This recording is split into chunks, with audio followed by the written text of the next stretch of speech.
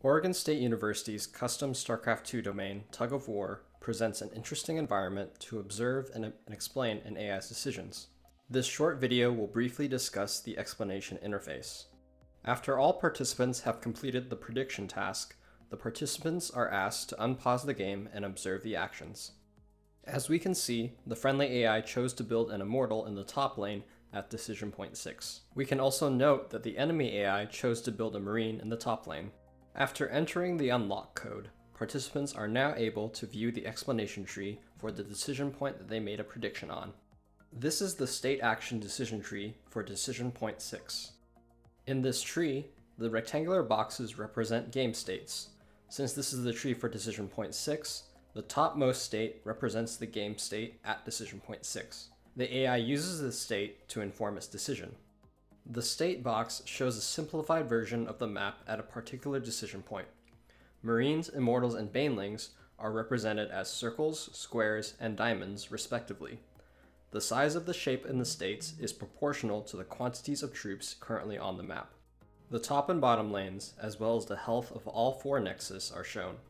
This state shows the friendly AI observed the map at decision point 6, where there were some enemy banelings on the map.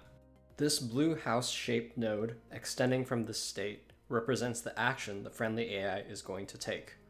The blue boxes represent the quantities of buildings it already owns in each lane, and the boxes outlined in black indicate what it intends to purchase.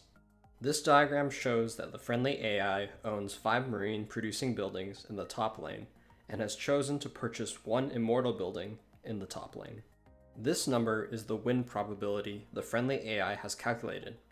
It expects that if it takes this action and builds an immortal in the top lane, it will have a 99.75% chance of winning by destroying the enemy AI's top lane nexus. Below the friendly AI's action is the enemy AI's predicted action. The friendly AI predicts the enemy AI will purchase two marine buildings in the bottom lane. The friendly AI is able to perform a two-state look ahead. If both AIs take the previously mentioned actions, the friendly AI predicts decision point 7 will look like this. If we recall what actually happened in the game, the friendly AI's prediction of what the enemy AI will do is actually wrong. The reality is that the enemy AI purchased a marine in the top lane. Following the tree down, these previous predictions lead the friendly AI to think decision point 8 will look like this. The AI considers many possible futures and many possible actions. The leftmost future is expanded by default because the AI has determined it is the best possible action. Actions are displayed in descending order. Participants can click on the state node and show more actions. If a participant clicks on this enough times, eventually they will reach the worst possible action. Participants can select any node they want and view the futures one can drag the nodes around to compare them.